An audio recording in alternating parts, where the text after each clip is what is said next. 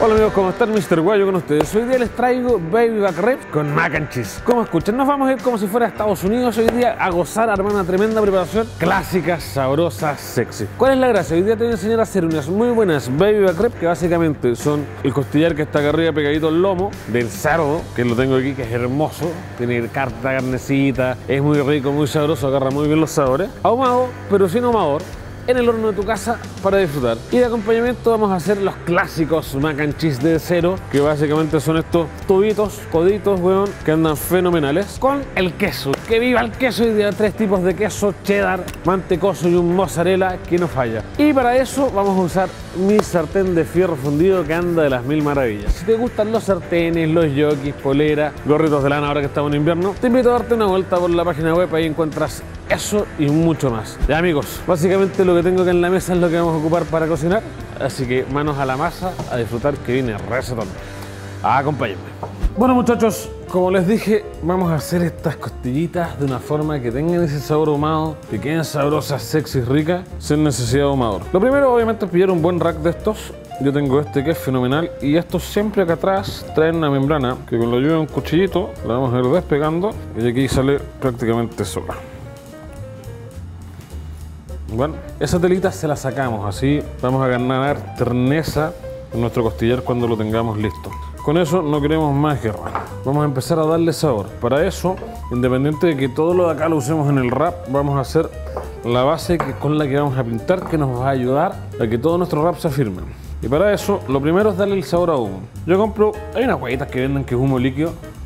Aquí tengo este. Y aquí sin piedad. Vamos a meter harto. Con eso estamos. De esta forma, que vamos a conseguir, chicos, vamos a conseguir que tenga una capa de saborcito como ahumado. Y una mostaza amarilla clásica Yellow Mustard gringa que pillamos en cualquier supermercado. Ahora, esto lo vamos a mezclar bien y esta mezcla que tenemos aquí la vamos a aplicar como base. ¿Y esto qué nos va a dar? Nos va a dar un saborcito como si hubiera estado ahumándose mucho rato el bicho en un ahumador. Nos va a dejar una capita sexy que es la que estamos buscando con ese deje como si fuera ahumado. Lista esta cara, ahora vamos con el wrap. Yo aquí tengo una medida de sal que está por aquí más o menos, de sal gruesa. La mitad de esa medida en azúcar. Le vamos a poner un poco de páprica para el color. Por ahí estamos. Ajo granulado, que ha sido un gran descubrimiento en mi vida. Con ganas, metable no Y lo último, pero no menos importante, el toque coqueto, no puede fallar, un poco picantito. Y pimienta. Y ahora, con la ayuda de alguna cucharita, algo que tengamos a mano, vamos a revolver esto. En mi caso es un tenedor. Y esta es la base de nuestro wrap, de nuestro niño seco, y lo vamos a ir poniendo así. Con confianza. Aquí vamos a tener el grueso del sabor de nuestro aliño. Por ahí, conseguimos una buena capa y ahora viene otra parte importantísima del proceso, que es el papel aluminio.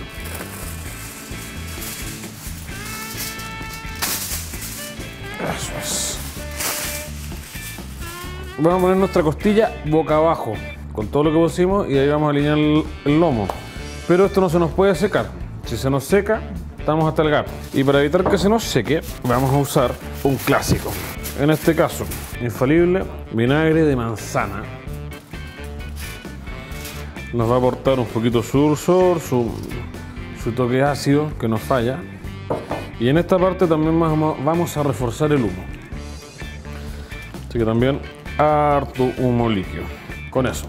Entonces ya con eso vamos a darle ese sabor ahumado. Y con cuidado agarramos nuestro costillar y como les dije, boca abajo. Pintamos bien.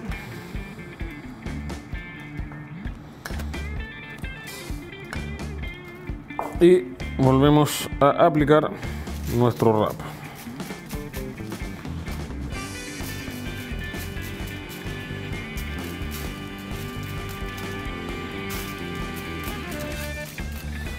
Y ahora, con mucho cuidado,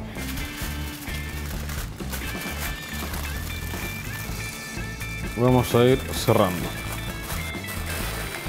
Eso es. Nos vamos con este sobrecito, este hermoso paquetito al horno para que se quede glaseadito. Así que acompáñenme al horno y seguimos. Y como les dije chicos, horno previamente precalentado a 140 grados. Y nos vamos con este sobrecito hacia adentro. Ahí está. Ahora solo nos queda esperar dos horas. En este intertanto vamos a empezar a preparar los mac and cheese y un montón de cositas más que nos faltan para mandarnos un platazo. Ya seguimos, qué rico.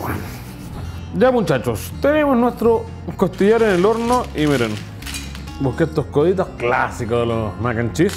Estos los vamos a poner a cocer en abundante agua por unos 10 minutos. Los vamos a sacar medio al dente porque la idea en este caso es rematarlos al horno con todos los líquidos, leche, crema y weá. Ahora vamos a preparar todo. Tengo acá, como les dije en un principio, tres tipos de queso: mozzarella, mantecoso y el clásico cheddar. Este da mucho color, sabor, funde las mil maravillas, igual que estos dos. Y con todo esto vamos a generar una salsa líquida así como ¡guau! Así que nos queda en este caso partir rayando nuestros dos quesos. Con confianza aquí total. Metámosle baraca, no es la cosa. Tenemos como una taza del mozzarella, el equivalente a nuestro queso cheddar ahora. Vamos. Por ahí estamos. Esto se guarda para otra, otra receta. Queso cheddar, que es maravilloso. Y ahora vamos a ir mezclando. ¿Por qué? Porque vamos a usar el queso en dos formas. La primera va a ser en la propia salsa y la segunda va a ser cuando vamos a hacer por capa esta agua. Macarrones, queso, macarrones, queso y después salsa para rematar. Va a ser un que viva el queso, una oda a la grasa. No piensen que es una receta liviana, es solo placeres culpables de esta vida. Tocino. Tengo este tocinito grueso, maravilloso. Lo vamos a picar en daditos chicos, cosa que entre medio de nuestros macarrones tengamos estos crunchies de tocino, de grasita y sabor. Así que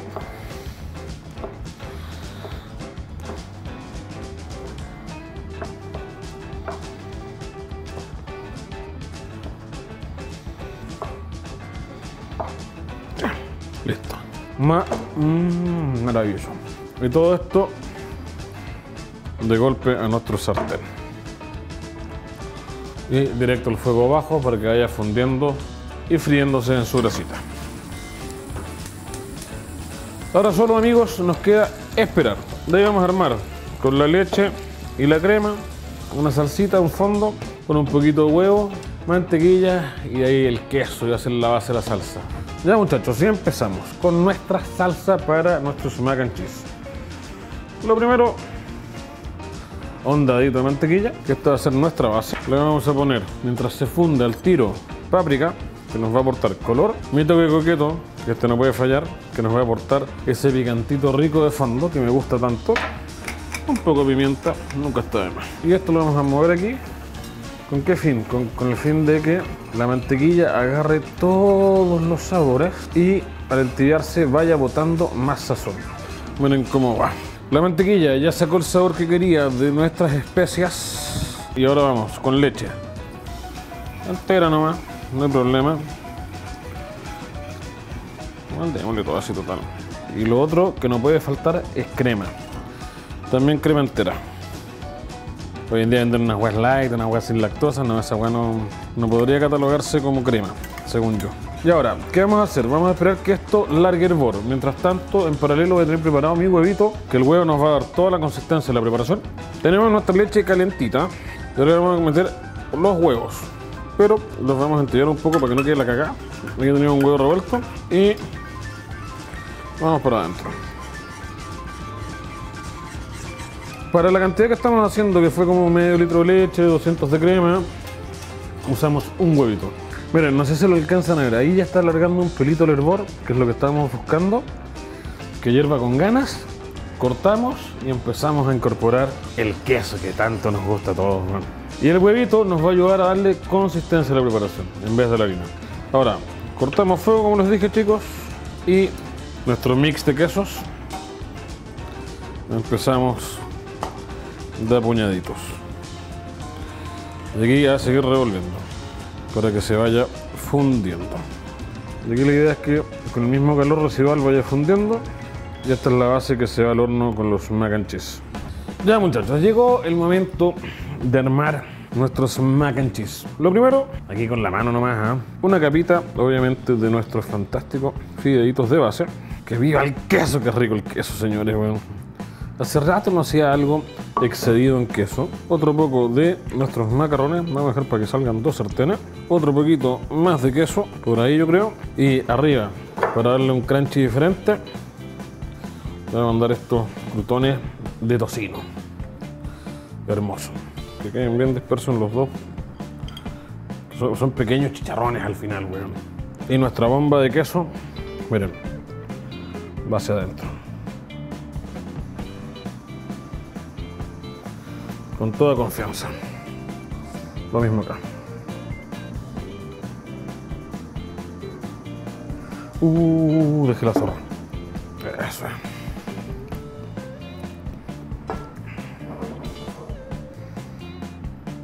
Vamos a poner un pelito más ahí. Que entre todo nomás. Eso es. Y acá también. Por aquí le entra un poco más. Por ahí está nuestra base del mac and cheese. Muchachos, horno 20 minutos, 180 grados y estamos. Tenemos, miren, nuestros dos sartencitos listos para meterse al horno y nuestro horno precalentado en 180 grados. Ahora, nos vamos 20 minutos, tal cual para adentro y los últimos 5 le vamos a dar el gratinado final.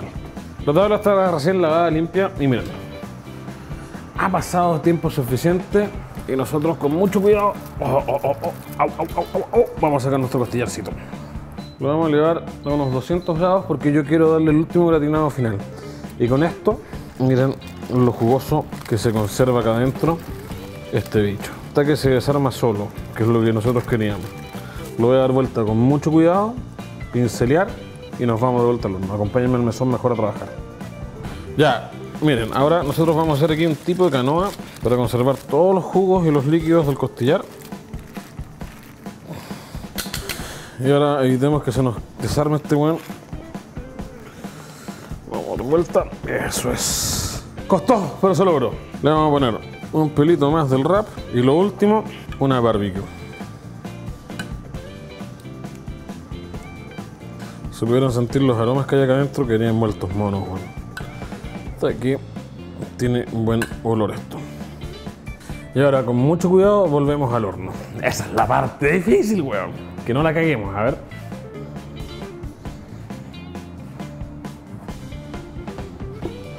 Aquí la idea es no cagarla. ¡Opa! Ahí va.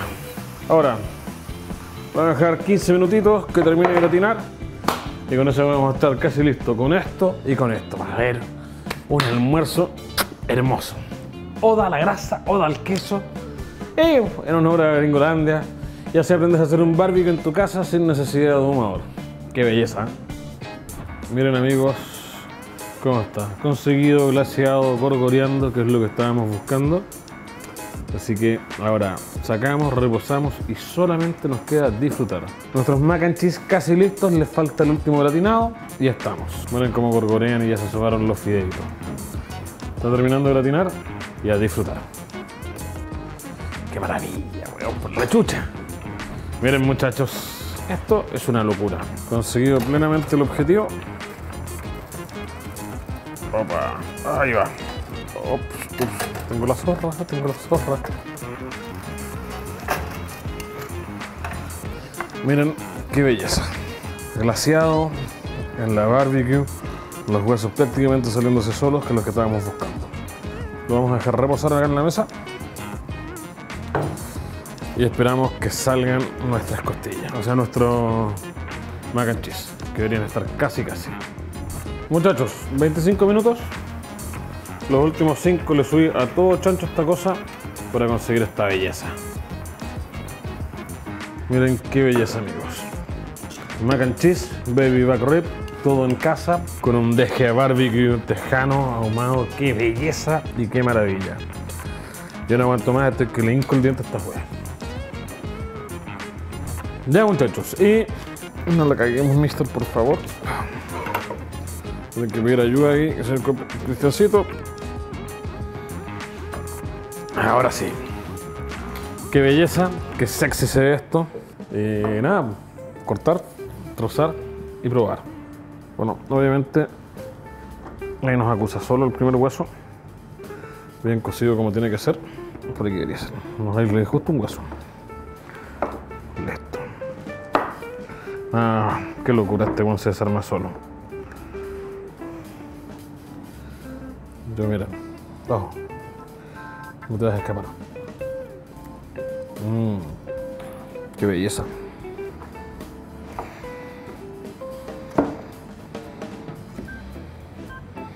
Casi no es ni necesario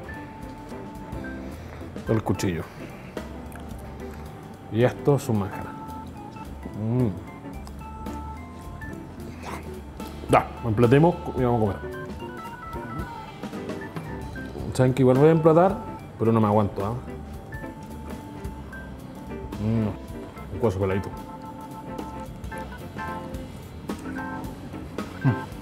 Mm. Y bueno muchachos, ese fue el video de esta semana. Unas fantásticas costillitas barbecue.